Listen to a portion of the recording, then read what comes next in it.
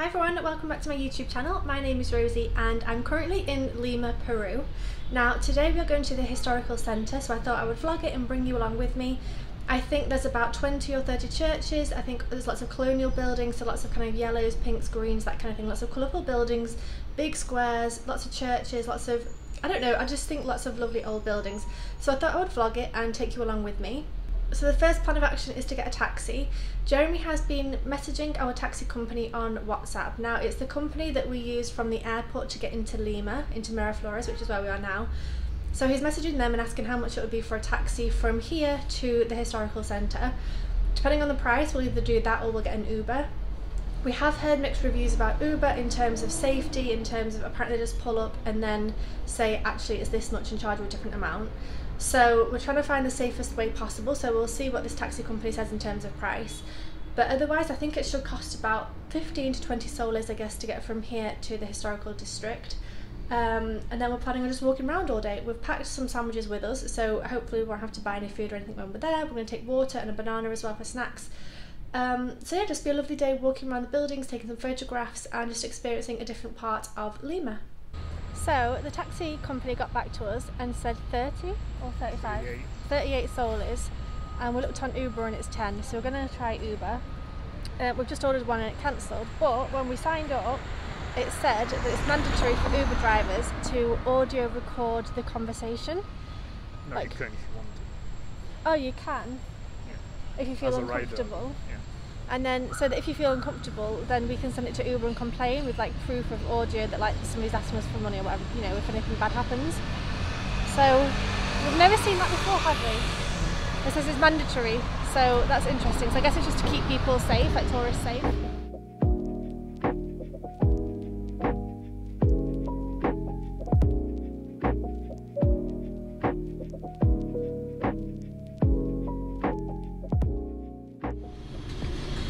So we got this from the tourist information place and he said we'd be dropped off around here, which we are. So that building there is that building there.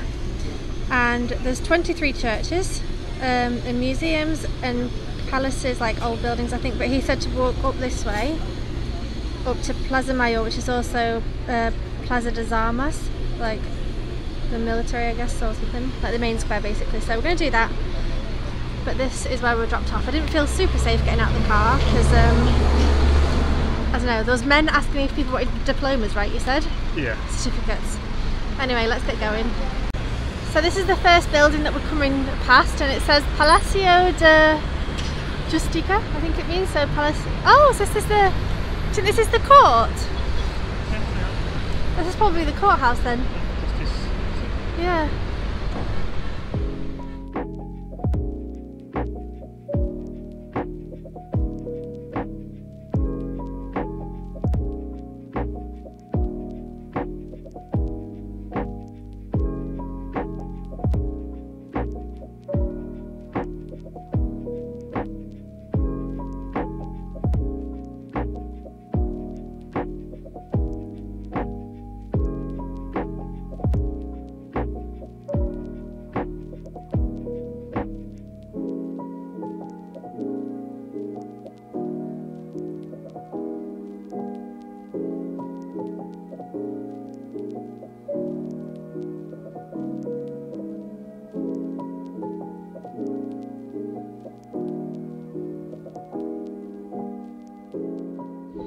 Walked up to Plaza San Martin, which is this one here. So it's got some grass in the middle and these big old beautiful buildings.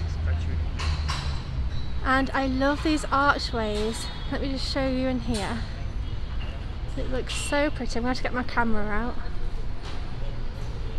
How nice is that with the floor and the archways? Oh, I love it. Somebody selling some things. Anyway, I'm going to get my camera out and take some pictures because this is so pretty.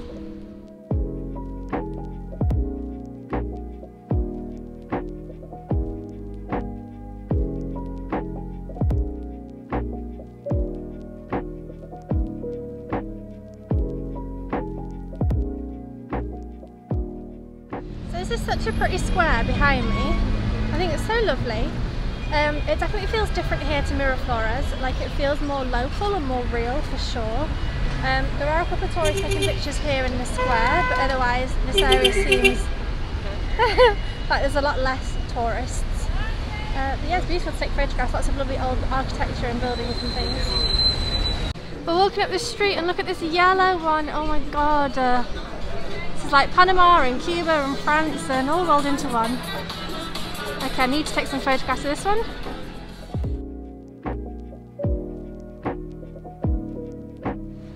So there's the yellow one, and then there's this blue one. But look at this one with the red and the black and white. Isn't that beautiful? And this cute little pink one on this corner. Oh my god, I love it.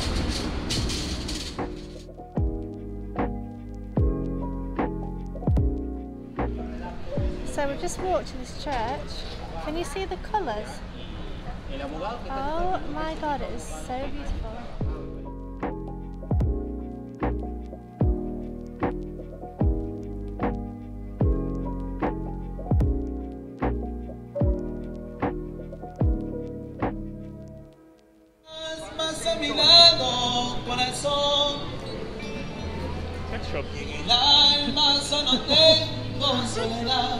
Thanks for that, Jeremy. Jeremy's photographing the sex shop. para hacerme sufrir más. So we were just walking along and look at this bit here. How intricate that is and how random it is next to this awful like 50s, I don't even know what year that is, 80s movie building. This is beautiful intricate work there. I wish I'd filmed my initial reaction to this because I went, look at this building! Whoa! I mean, look at it! Look at, are you looking guys? Look, just look! Photograph. Oh my goodness, how pretty is that? Okay, yeah, there is a cute puppy over there. but this building Oh wins. my god, you took it. Look at the balconies, Jeremy, Yeah. and the text on it. They have windows. Oh.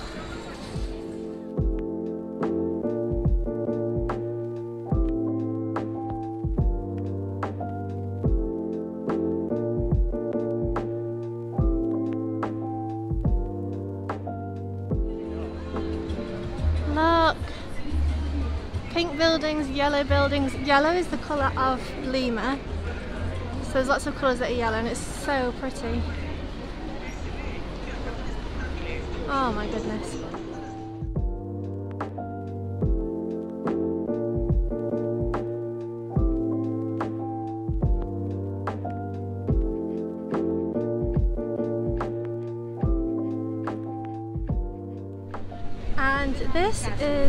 Main square, Plaza Mayor and Plaza des Armas. I think it's got both names. Holy guacamole, look at the archways. Oh, there's a big band in front of that building. Is that the hill behind? There's a Christmas tree, but is there a big hill behind? Over there. Oh my goodness. Jeremy just said this reminds him of Buckingham Palace, and I completely agree.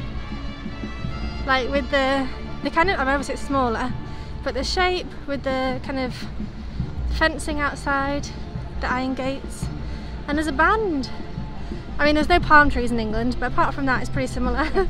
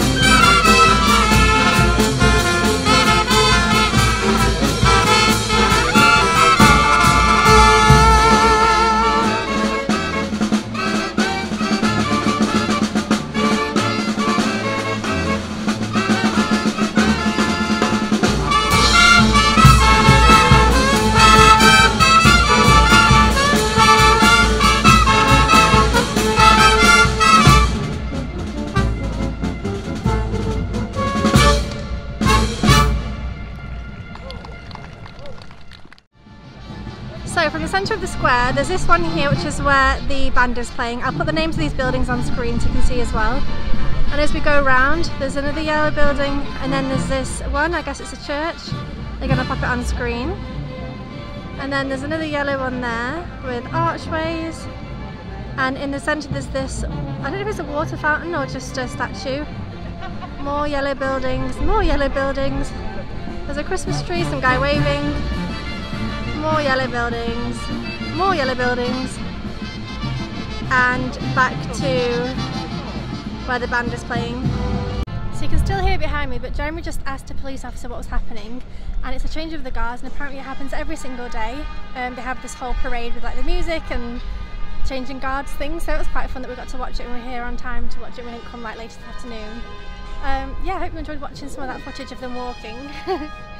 okay, it's now time to have some lunch. We packed some sandwiches, so cheese and ham toasties and a banana to share, so we're going to have that. So something I've noticed here in Lima is that there is loads of police everywhere. There's one here, one here. They're kind of dotted around everywhere, so it actually feels pretty safe. And I know you might think that there must be a reason to have a lot of police, and maybe there is, but actually I feel really safe knowing that they're here. Um, just thought I'd let you know.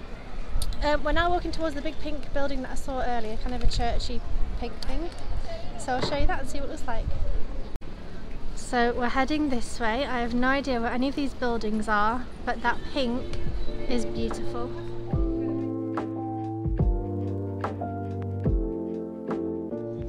So it's yellow on the bottom and then pink on top. It's so pretty.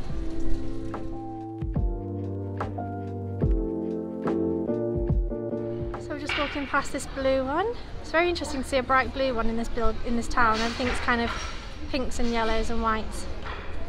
So I'm going to take some photographs of course.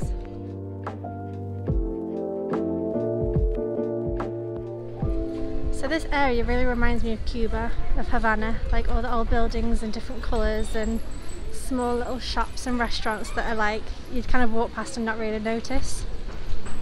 It reminds me so much of Havana.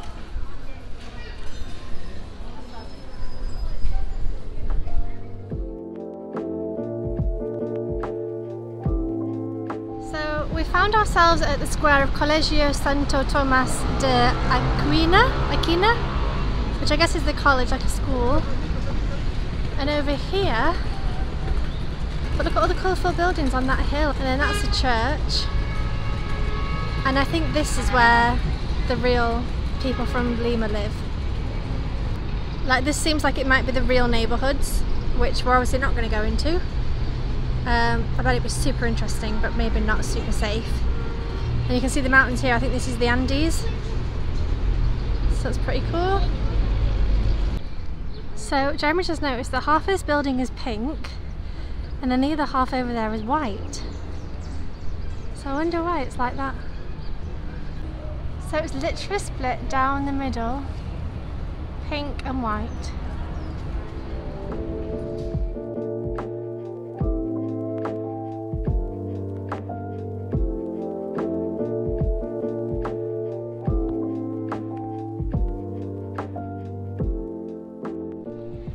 So we're now back at the main square here, and this time we're going to go up this road because it looked quite, I don't know, active. It looked quite colourful earlier, so we'll see what's there. I want to see what's on the music Yeah, it also sounds like there's some sort of either festival or protest. I'm not quite sure. There's lots of like whistles and bells and noises and banging and stuff.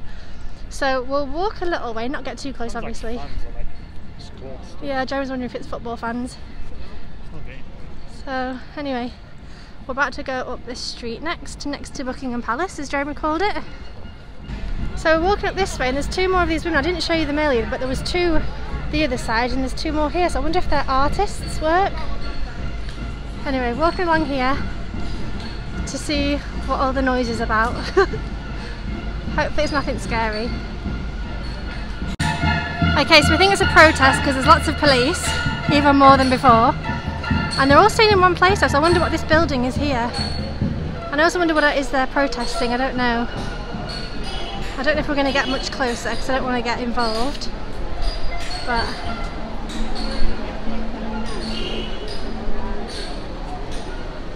If I find out what it is, I'll let you know in the description box down below so you can find out as well. No idea. So we're walking back down to the square and there's two or three restaurants here that are pretty busy so I guess these are like the local areas. This was one of them. It seems quite busy with not tourists. And then there was one here as well. This one, a menu I think is nine soles I guess, that's pretty cheap. It's got pineapple juice but yeah it's full of local people.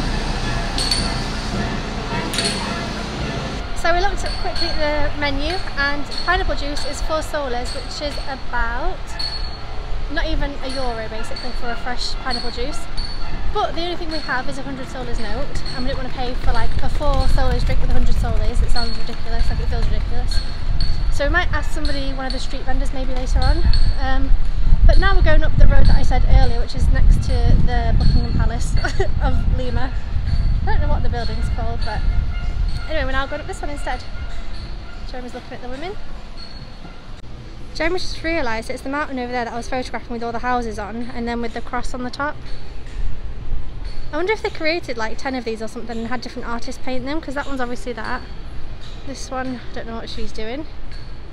It's like a balcony. Yeah. But there was two other ones over there. I might show you if I get round to, if we go and see them again. It's a chocolate museum, Choco Museo. This is my kind of museum. Cacao tea. Oh, 100% handmade paletas. Oh, okay, minute. Let's have a look. Let's have a look. They got handmade ice creams. Oh my god, chocolate liquor. Everything in here is chocolate.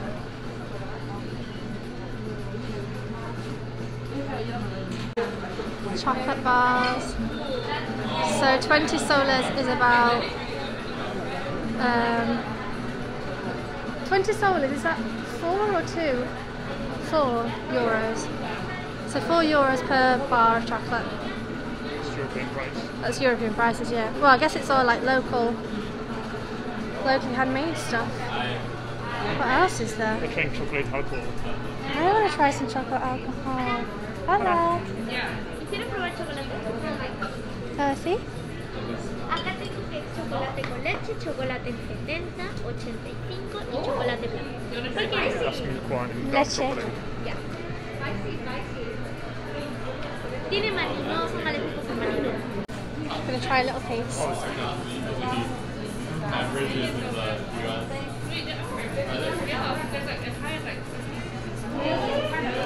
That was delicious. Mm. Okay, now trying some dark chocolate. Actually, my favorite is this one. It's not even sour or anything. This It's, is the bar energetic. The ones here have milk, it's like, like nuts, and the ones with fruit have no milk. Uh, It's good, right? just purely. It's natural. Delicious. We're now looking at all the different chocolates. They've got cocoa, which I'm not sure if that's cocoa, like yeah, the cocoa leaf. leaves, Yeah. like cocaine leaves basically. Orange, quinoa, Chile. oh chili as well. Uh, coffee, Oreo, Raisins. M&M's, raisins apparently. Look at these chocolate cakes, chocolate mousse. My god.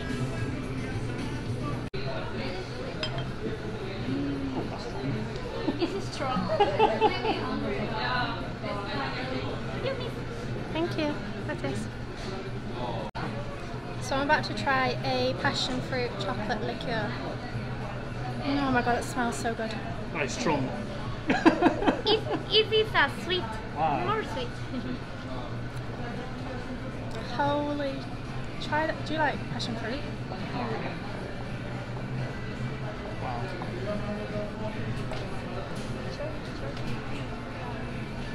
It's got pieces of chocolate in it.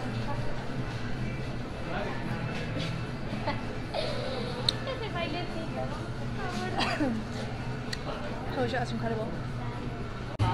So we're getting three chocolates. We're getting milk chocolate, um, orange flavoured milk chocolate, and then dark chocolate with nuts in it. Is it? Yeah. And then we're each getting a little chocolate ice cream, chocolate and almond ice cream. Yummy. So it's a chocolate ice cream and it's got chocolate stuff in the middle as well. Delicious. Highly recommend this place here. So I finished the ice cream. It was delicious. We're now walking up the street that I told you about about three times.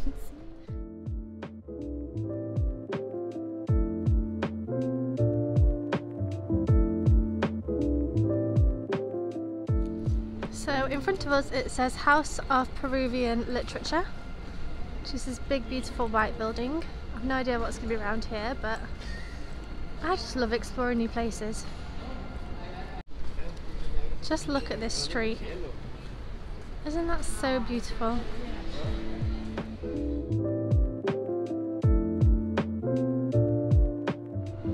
So I've just made it to this bit. Again, I'll put the name on screen, so I'm not sure what this place is called, it's beautiful.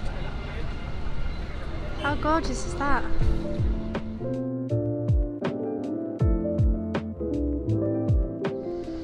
Now about to walk through Parque de la Muralla, which I think is the park that has the old city walls.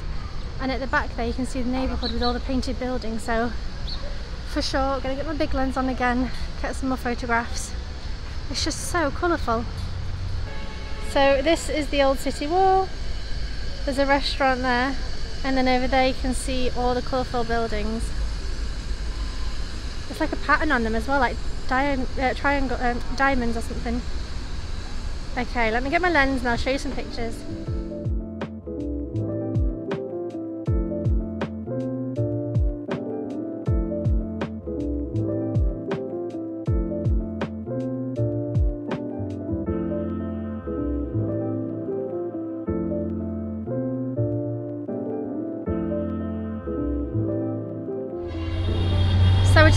Past the Congress building, so I thought I'd show you quickly. This is what it looks like in Lima, Peru. So we decided we're going to walk to Plaza Ita Italia and we're walking past this blue church, so I thought I would show you and this seems like the real Lima. This seems like really really local. Definitely feel like I stick out like a sore thumb, but I feel okay. Just, right, we're going to keep going. Okay, so we've made it to Plaza Italia. This area definitely feels more local. It definitely feels like there's less tourists, but there's still some beautiful buildings, these green and red, random colour choice, this pink. And then I just saw over there in a second, I'll show you, um, a red church, like a huge red dome and things, so I'll show you that when we get there, but I just love this architecture. So pretty. And then this is the red church I was telling you about with big red dome. Isn't that just beautiful? Okay, I'm going to take a couple of photographs and I think we're going to have to get a taxi home.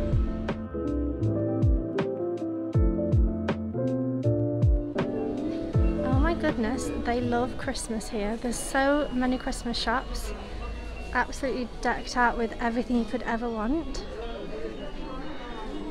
This is not the only one, this is just the only one that I popped into, but there's so many.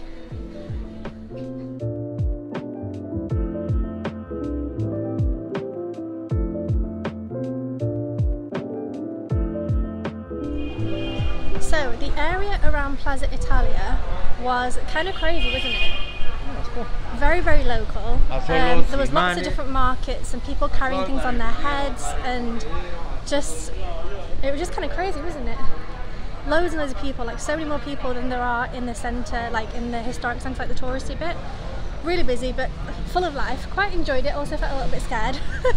and I think that's just me being, I don't know, probably shouldn't say that, but anyway. We're back in the historical centre now, walking back to the bit where we got out of the taxi so that we can get another Uber home.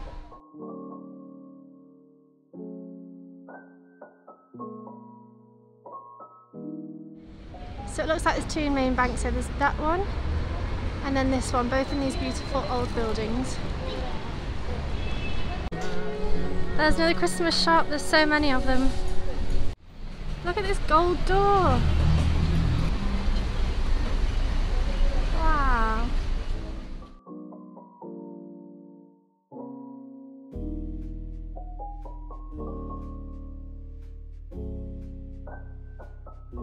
Are back at Plaza San Martin.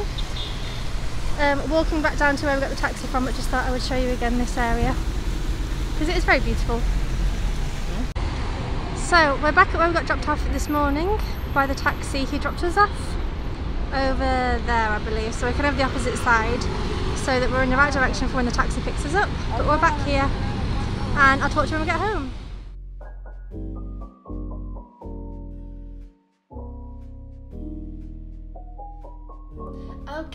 Okay, so we are home and I just wanted to close off the vlog by talking about our day. Did you enjoy it? Yeah, it's nice part of town. Really nice part of town. I think it made me realise how big Lima is because the taxi from where we're staying in Miraflores to there was 20 minutes.